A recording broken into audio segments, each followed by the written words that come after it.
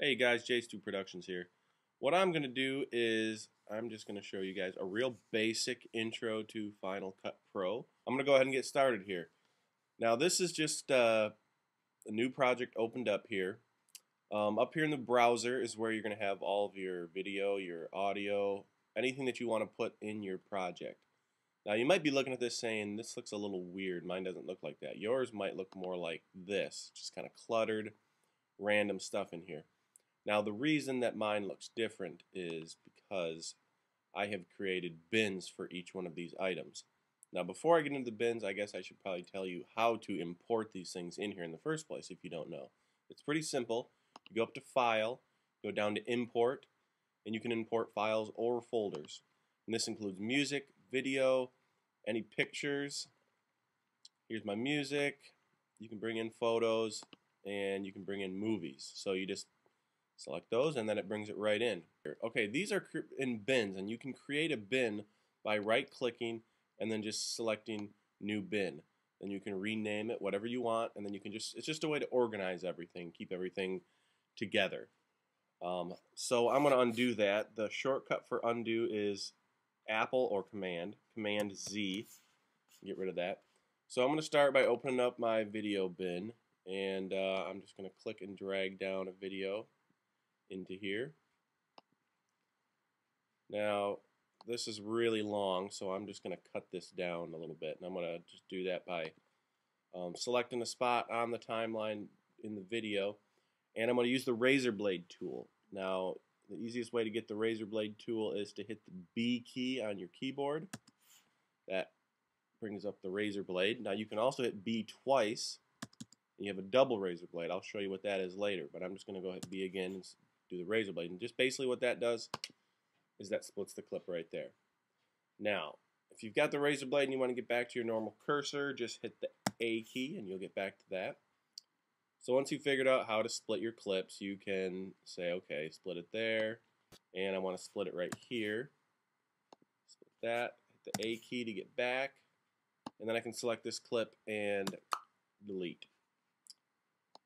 Now, another thing, if I want to join these two clips together, I know there are lots of ways to do this, but there's one main way that I do. Right now, if I go to join this clip together, it's really tough to get it perfectly set where you want it. You want it to join right up there and you don't want it to overlap, but it's kind of hard. So what you can do is come over here, and this is called snapping. Just click on the snapping button and now it's going to actually snap into place when it gets close enough. So I get it close, and then boom, it snaps right on there.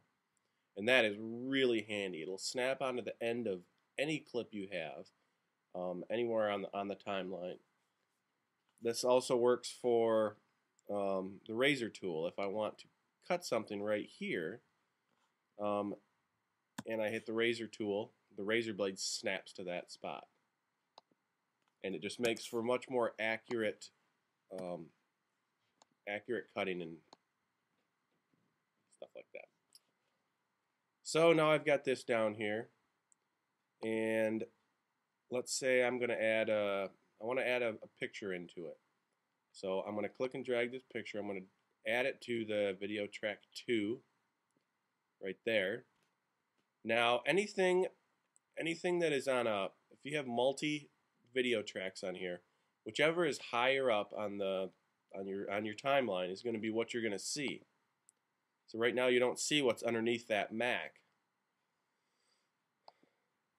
So unless you were to swap these two, if I were to swap this one, now this one's above the Mac, so you're going to see this, and you're going to see the Mac, and you're going to see the original. So it's always a good thing to remember.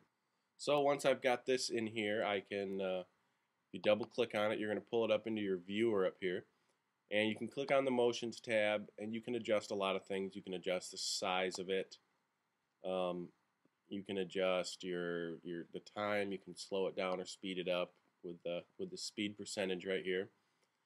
Uh, you can change the opacity of it, um, so you can sort of see what's going on behind it at the same time. There's a lot of different things in here that you can do and that's without any special effects at all. Now, Okay, so before I get into special effects, I'm going to add some audio in here. Now there's already regular audio, but I want to add some music. So I open up my audio bin, which I have one song in there, and there it is. Now if you notice, there's a red line right up here, and that means that this audio track needs to be rendered. So I'm going to cut this down just because I don't need the entire song to show something being rendered.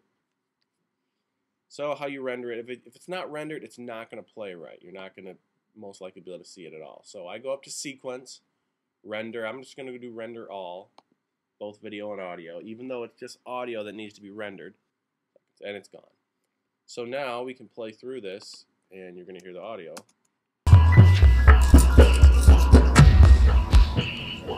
Okay, so now the audio is in there. Now if I want to get rid of the original audio that came with the video, it's very simple. I'm just going to lock my video track down so the video track can't go anywhere. And now I have free reign to adjust, I'm sorry, I, am going to lock my video track. And now I have free reign to adjust my, my audio. I can get rid of it if I want to. And once again, if I get rid of it and I realize that, oh, I want that back, just Command Z, Command Z again, and it's back there. Okay, so once I got my music in there, maybe what I might want to do is um, add um, some effects. Now the effects are pretty nice. They're they're pretty straightforward. These are all bins or folders that have the different kinds in them. Um, here's the color corrector, which is really popular. I use it a lot at least. And you would just click and drag the color corrector down to the appropriate spot that you want it. Now once it's in there, you don't really see anything different yet. So you go down and double click on the clip that you just dragged it into. Go up here to the viewer and you'll see this little tab, color corrector. Now once you're in there, you can adjust your the various different blacks and mids and whites and saturation and get it to a color that you want. It's, but it gets the job done if you're doing some minor stuff. Um, okay, and the last thing I'm going to talk about really quick, I believe, is video transitions. Now, there's a lot, like, again, like the effects, there's a lot of different transitions that'll do a lot of different things. I mainly stick with dissolves.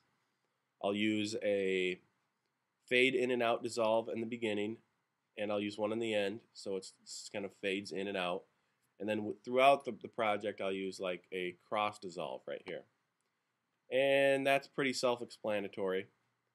Um, now, I can double click on the dissolve itself and that again gets pulled up into the viewer. Now up here I can change the duration of the, the bleh, of the dissolve.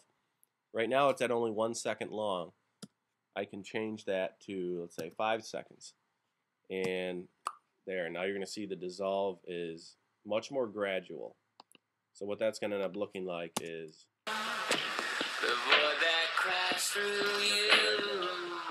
nothing basic.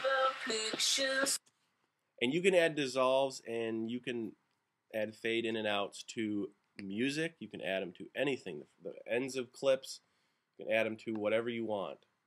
I, I go kind of crazy with my dissolves. I add them all over the place. It just makes everything kind of flow a little bit smoother to me. Um, especially the music. I, I add fade ins and fade outs, and you can do that in audio transitions as well. All right, so let's say you're you're done here and you're you got your video the way you like it. Um, one good way of uh, I'm going to tackle this really quick. One good way of playing your your video, the easy way, is just hit the space bar, and that, and that will play, and then that will stop your your video. Now your arrow keys are also very important. Your arrow keys, if you'll see, I'll, I'll zoom in here.